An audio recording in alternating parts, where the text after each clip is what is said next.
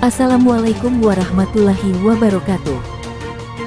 Berjumpa kembali bersama dengan kami, yang pastinya akan memberikan informasi terupdate dari Haris dan juga tentunya dari Cut Sifa. Saat ini, tentu saja hadir dari Haris dan juga Cut Sifa yang tentu saja semakin menyita perhatian publik, berkat akting dan juga kepiawaian dari Haris Friza dan juga Cut Sifa.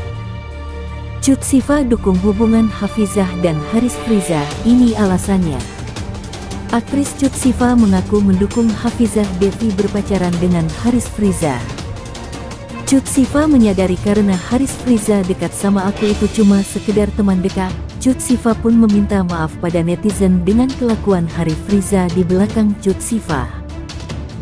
Hal tersebut disampaikan saat mereka berbincang dalam vlog miliknya di Youtube. Gue setuju lu sama dia, ungkap Cut Sifa. Dua-duanya sama-sama cocok.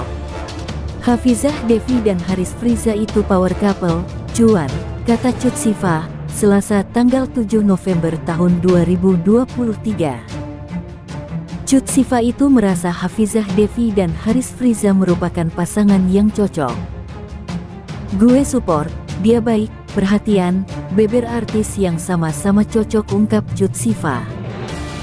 Mendengar pernyataan Cut Sifa itu, Hafizah Devi langsung memberi tanggapan. Dia mengakui memang pernah mengajak Haris Friza menjalin hubungan lagi demi hidup lebih baik.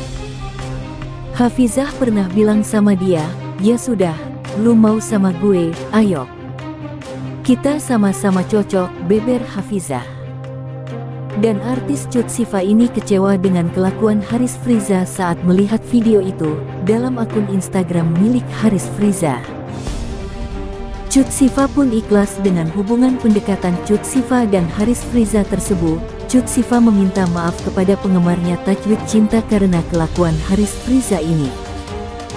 Artis ini mengatakan kepada para penggemar Cut Sifa dan Tajwid Cinta ini, Aku minta maaf kepada fans aku yang selalu support aku sampai aku bahagia dan pendukung kalian ini. Semoga aku dapat jodoh yang baik ya, ungkap Cut Sifa. Doain aku ya semoga aku dapat jodoh yang terbaik bagi aku dan juga baik bagi orang tua aku.